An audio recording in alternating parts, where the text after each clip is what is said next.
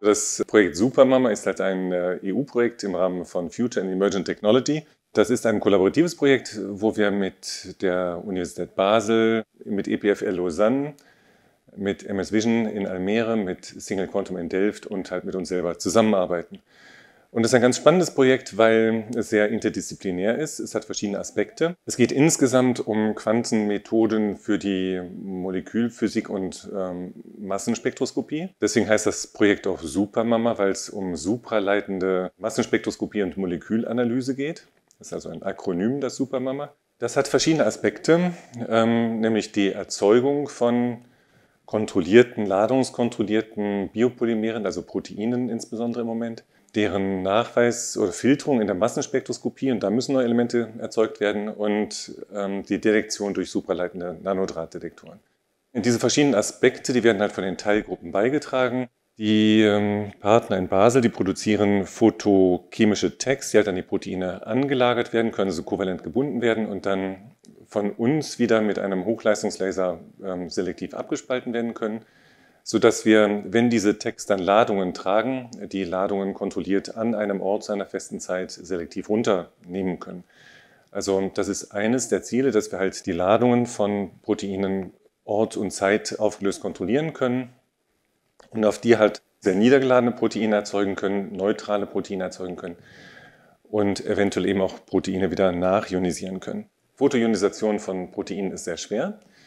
Das hat viele Gründe, hat damit zu tun, dass ähm, die Ionisationssenergien sehr hoch sind, dass aber auch, wenn schon mal Elektronen ausgelöst werden, sie wieder eingefangen. Der zweite Teil ist halt dann die Selektion dieser niedergeladenen Proteine und die sind sehr massiv. Die wiegen sowas wie 100.000 Wasserstoffatome zum Beispiel. Das ist ja eine ganz große Masse und das ist eine typische Proteinmasse zwischen 50.000 und 100.000 oder einigen 100.000 Wasserstoffatomen. Die zu selektieren ist typischerweise ähm, eine Aufgabe von Flugzeitmassenspektrometern oder Quadrupolmassenspektrometern. Aber bei den niedrigen Ladungen ist es typischerweise nicht so leicht, die Quadrupol zu selektieren, also in, in den kommerziellen Instrumenten zu selektieren. Deswegen arbeiten wir da mit MS Vision in Almere, also in Holland zusammen, um halt bessere massenspektroskopische Methoden zu entwickeln, ähm, eben auch die großen Massen noch gut selektieren zu können. Ein großes Problem generell in der Massenspektroskopie ist, sehr massive, langsame, niedergeladene Teile zu detektieren.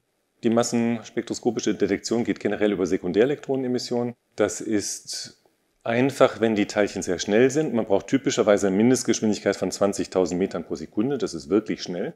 Und diese Geschwindigkeiten für sehr massive Teile, sehr massive Objekte zu erzielen, erfordert halt sehr hohe Nachbeschleunigungsenergien. Und das ist generell etwas schwer zu machen. Deswegen ist die Frage, kann man Detektoren bauen, die halt auch noch für sehr viel kleinere Energien sehr effizient sind. Und da kommt jetzt Single Quantum mit rein, also die Firma in Delft. Die sind Spezialisten für Nanodrahtdetektoren aus Neoptitanitrit. Ähm, das sind also kleine, dünne Strukturen, die sehr empfindlich auf äh, eingetragene Energie reagieren. Und die ändern ihre Eigenschaft von supraleitend zu normalleitend, wenn sie halt Energie absorbieren. Natürlich ist der Traum, das später noch zu viel größeren ähm, Arrays zusammenzustellen, dass man eine ganze Kamera daraus bauen kann, äh, die wirklich gut ortsauflösend ist, energieauflösend ist, zeitauflösend ist und, und eben diese hohe Energieempfindlichkeit hat. Als ähm, fünfter Partner ist dann eben noch EPFL dabei äh, mit Eduardo Charbon und seiner Gruppe und die sind dann speziell verantwortlich dafür, dass sie die Multipixel-Elemente auch kryogen auslesen können, also bei tiefen Temperaturen auslesen können.